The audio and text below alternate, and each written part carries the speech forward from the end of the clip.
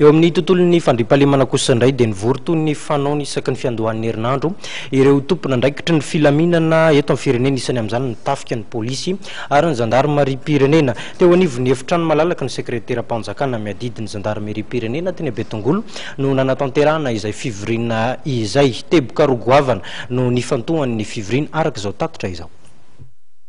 Ho hentitra amin'ny fampiharana ny lalàna mifehy famovoizana mpitandro ny filaminana. Anisan'ny voaresaka nandritra ny fivoriana, izay niarahan'ny tompon'andraikitra avy amin'ny miaramila, ny polisy ary ny zandary, fa mitombo ny tsy fanarahan-dalàna eo amin'ireo mpampiasa ny arabe, indrindra eto Antananarivo Renivohitra, araka ny fampitam-baovao avy amin'ny polisim-pirenena. Voatondro manokana tamin'izany ny mpitaingina Mbontô sy ny taxi-be.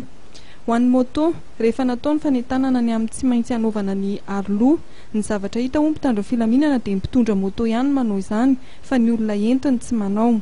Manomboka izao dia tsy andeferana ny tsy fanaovana izany aroloha izany ho an'izay rehetra eny ambony moto sy ny manao taingom-be mitondra olona mihoatra ny tokony ho zakany. Noho ny fahatsapana fa anie maro tato ato ireo mpitondra moto manivaka amin'ireny lalana tsy azo hifanenana ireny na amin'ny sens unique na sens interdit. Araka ny fanapahan-kevitra nivoaka androany dia ampidirina fourrière avy hatrany izay manao io fandikan-dalàna io. Toy izany ihany koa ny taxi-be izay mijanona mandray sy manala olona amin'ny tsy fiantsonana. Ankoatra ireo fandikan-dalàna ataon'ny mpampiasa ny arabe dia anisan'ny noresahana ihany koa mikasika ny fanaovana fanamiana miaramila. Nampatsiahivina ary fa mitombo fanenjehana ireo olon-tsotra manao fanamiana miaramila sy ireo mpivarotra mbola mily mivarotra ireny fanamiana ireny.